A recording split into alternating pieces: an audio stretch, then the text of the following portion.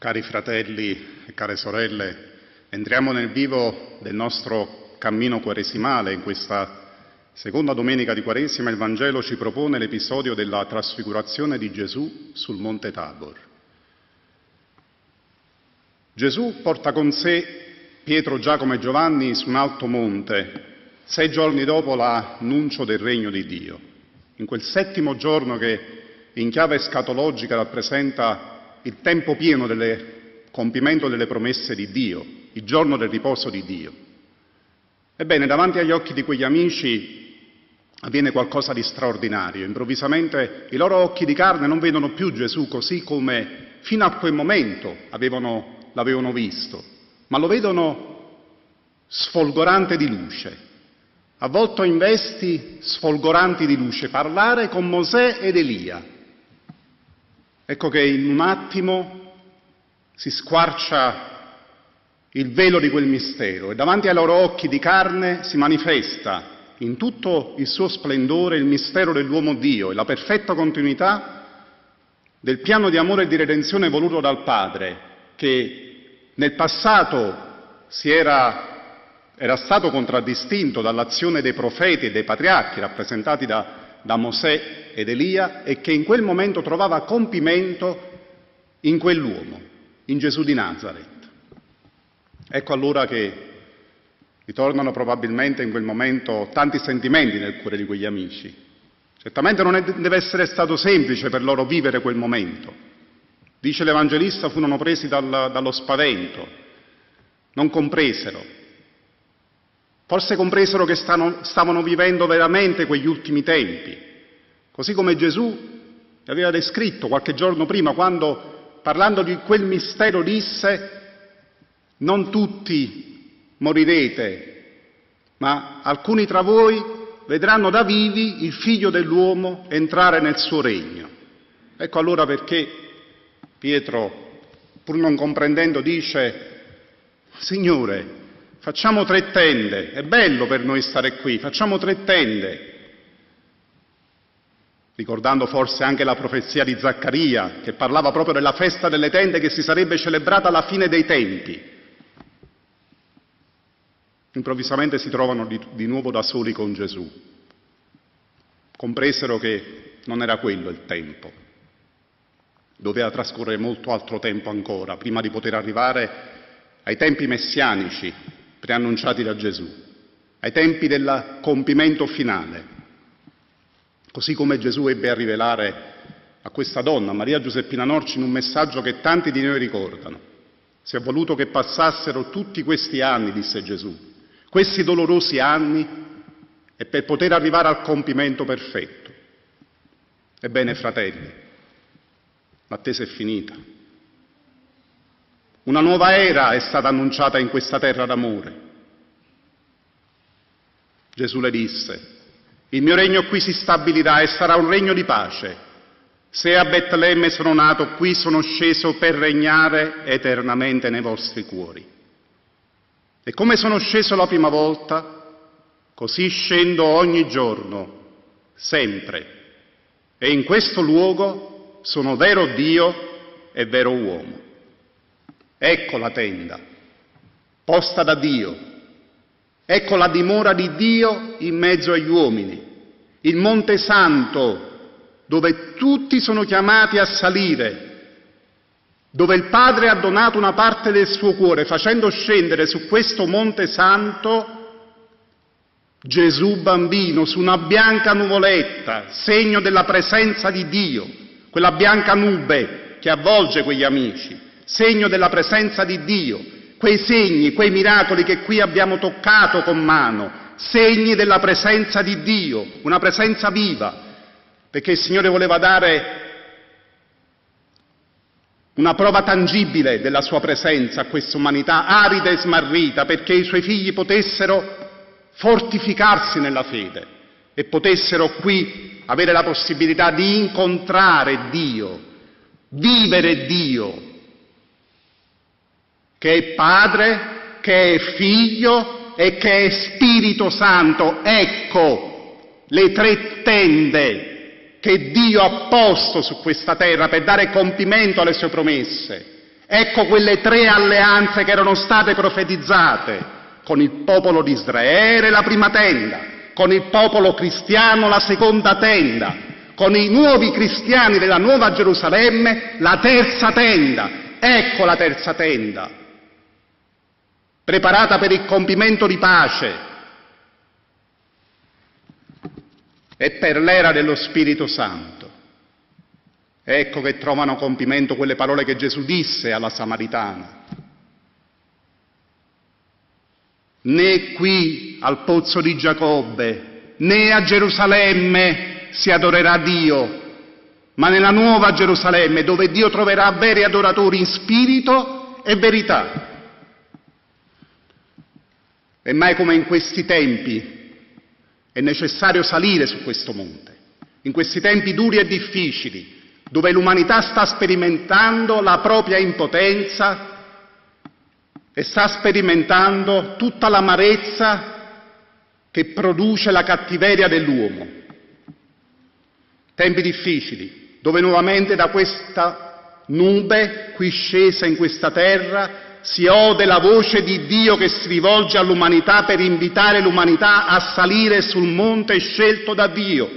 Venite, salite sul Monte Santo, dove il figlio dell'uomo è sceso su una bianca nuvoletta per parlare ai cuori di tutti gli uomini animati dalla buona volontà. Qui il figlio di Dio è sceso per prenderci per mano e per accompagnarci uno per uno a vivere la nuova Gerusalemme, il cielo in terra, Padre, sia fatta la tua volontà, come in cielo, così in terra. Questo ci ha insegnato Gesù a chiedere. Ed ora che tutto si sta compiendo è necessario che i cuori comprendano bene questo passaggio, perché Dio ha deciso di porre fine al male che affligge questo mondo. Ecco perché ci ha donato questo rifugio sicuro, dove ognuno di noi può sperimentare la presenza viva di Dio. Gesù bambino qui è sceso realmente.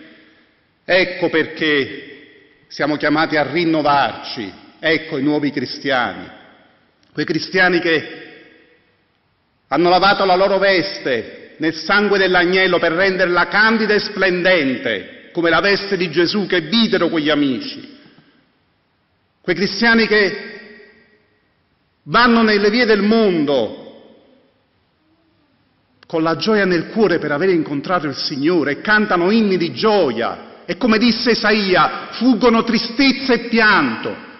Ci sarà una via nuova, una via santa, disse Isaia. Eccola, eccola, la via tracciata da Dio per ricondurre il cuore dei figli al cuore del Padre. Ecco questi cristiani desiderosi di contemplare Dio, desiderosi di alimentare e custodire quella dimora silenziosa che Dio ha stabilito nei nostri cuori, quella preghiera viva, costante, incessante, perché noi sappiamo che soltanto nella preghiera e nell'unione fraterna, soltanto in quell'unione fraterna, in Cristo, si potrà trovare la vera pace, non altrove, solo in Cristo c'è la vera pace. E il mio pensiero in questo momento va a tanti che nel mondo sono afflitti dalla guerra, a quelle terre martoriate e a tanti uomini e donne che vivono il dramma straziante della guerra per il delirio di onnipotenza di uomini senza Dio. Ai potenti del mondo dico fermate la guerra, Gesù bambino qui è sceso per stabilire, per dare inizio e stabilire definitivamente il suo regno di pace ed amore. Il mondo non ha accolto il Dio bambino. Nuovamente non è stato compreso questo atto di infinita misericordia del Padre che dopo due conflitti bellici mondiali avrebbe voluto e avrebbe dovuto chiudere i propri occhi su questa umanità. E invece per la sua infinita misericordia Il suo sguardo è stato attirato dal cuore puro di questa fanciulla, Maria Giuseppina Norcia, che è nata proprio in quel periodo, nel 40. Ecco quel cuore puro che ha attirato di nuovo lo sguardo d'amore del, del Padre su questa umanità arida e smarrita e il Padre ha voluto dare a questa umanità una nuova opportunità, una nuova possibilità, l'ultima possibilità. Gesù lo disse, è necessario che vi accostiate a questa mia seconda ed ultima grotta, perché un'altra non me ne sarà mai più. Parole cadute nel vuoto. Nuovamente la misericordia di Dio è stata calpestata. Nuovamente il centro dell'infinita misericordia di Dio è stato calpestato dal mondo. La nuova Gerusalemme è stata calpestata e lo sappiamo bene. Parole cadute nel vuoto. Calpestata da chi pensa di poter fare a meno di Dio perché si è sostituito a Dio. Ecco, fratelli cari, tanto cari al cuore di Gesù e al cuore di Maria. Preghiamo con ancora più forza, con ancora più convinzione ed entusiasmo, perché il Signore possa veramente donare la pace a questo mondo, che la deve cercare la pace in Cristo. E preghiamo per tante vittime innocenti della cattiveria umana, perché siano accolte nel cuore del Padre, siano accolte per l'eternità, nel cuore misericordioso del Padre. Chi è ancora alla ricerca della verità salga su questo monte e sarà ripagato di tutti gli sforzi. La fatica che costa salire sarà ripagata dalla grazia che qui si potrà sperimentare, che qui noi già sperimentiamo che ancora cerca una speranza nel mondo, venga in questa terra d'amore, in questo angolo di paradiso dove il Signore vi aspetta per donarvi quella speranza che il mondo vi ha strappato. Venite, correte. Il Signore ha preparato per voi una parte del suo cuore di bimbo che batte in questa culla voluta dal Padre.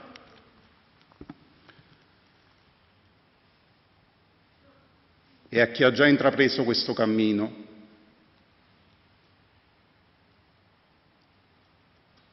Io ricordo a voi e ricordo a me, non dimentichiamo mai quello che ha detto Gesù. Non chi dice Signore, Signore, erediterà il regno promesso, ma chi fa la volontà di Dio.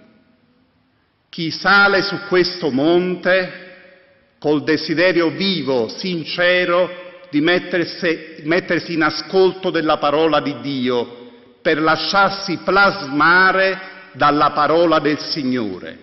Non chi mette sempre davanti la propria volontà e chi, pur di fare questo, si serve della parola di Dio.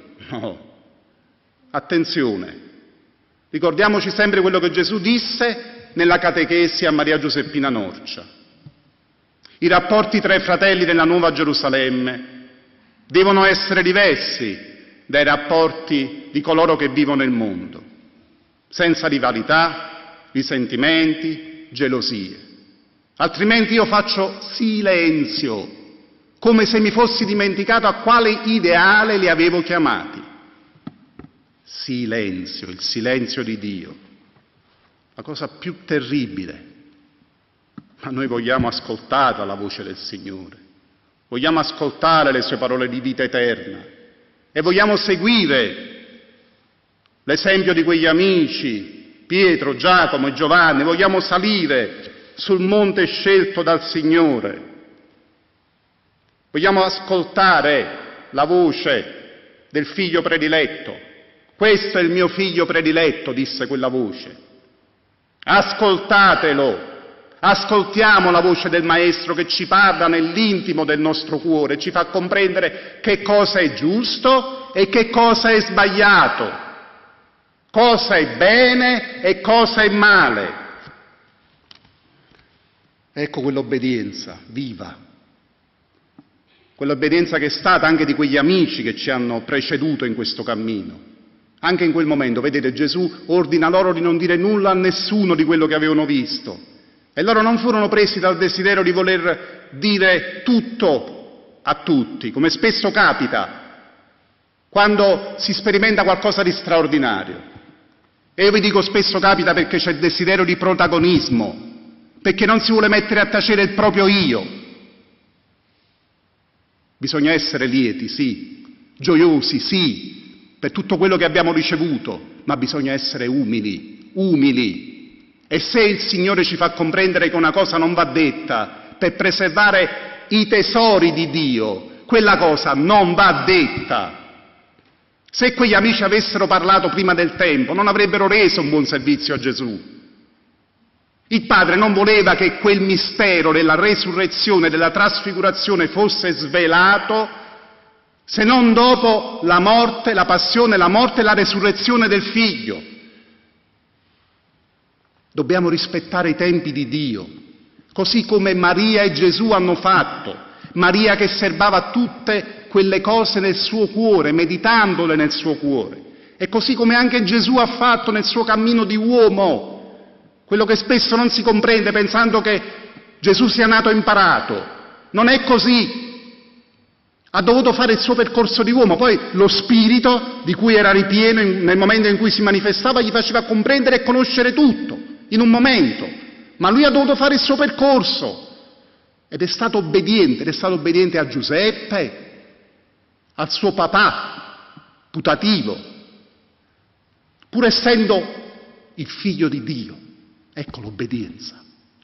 Ecco l'obbedienza che ci ha insegnato questa donna, Maria Giuseppina Norcia, sintesi, come disse Gesù, di tutti i patriarchi e di tutti i profeti, colei che si è totalmente abbandonata alla volontà di Dio, che è stata prudente, ha serbato nel suo cuore le perle preziose donate da Dio, per permettere a Dio di poter dare inizio a questo mistero d'amore, per poter permettere a noi oggi di vivere questa Chiesa, perché se lei non fosse stata così umile e obbediente noi oggi non potremmo essere qui.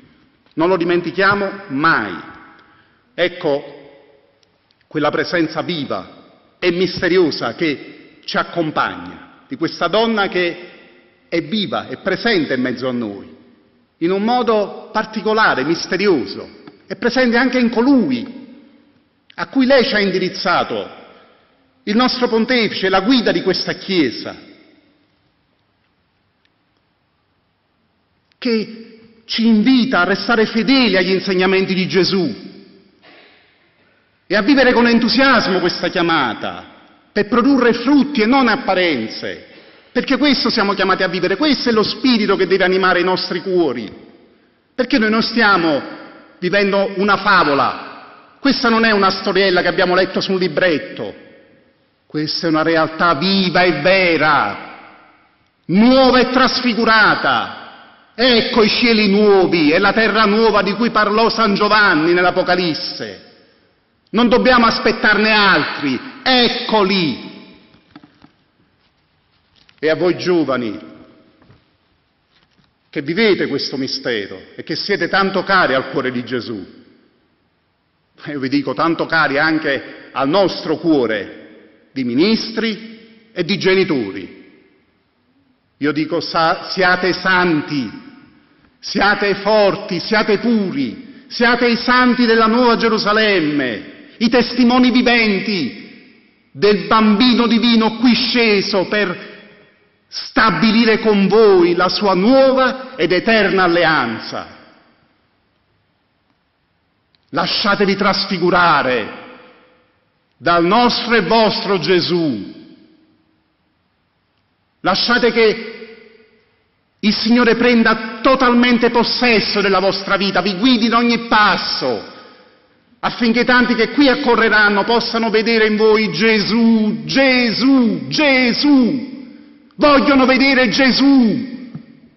E chi farà loro vedere Gesù se non coloro che lo hanno vissuto fin dalla loro più tenera età e che hanno voluto seguire l'esempio di questa fanciulla, che lo ha vissuto fin da quando era piccola Gesù e ha donato la sua vita perché tutti potessero viverlo e farlo vivere.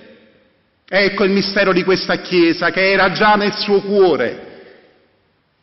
Ecco questa Chiesa, voce di Dio in questo tempo duro e difficile. Ascoltate la voce di questa Chiesa, uomini. Tanti qui accorreranno per poter contemplare con i propri occhi l'opera di Dio e la sua persona, che qui in Cristo e Maria sempre più sarà manifesta.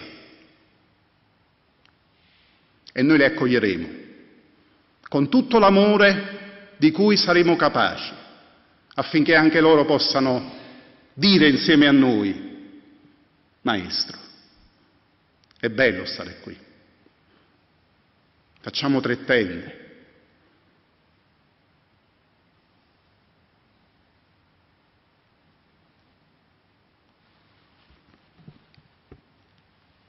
ormai è sera, e il giorno del mondo volge al tramonto. Ma noi abbiamo visto che qui è sorto il tuo sole, Signore.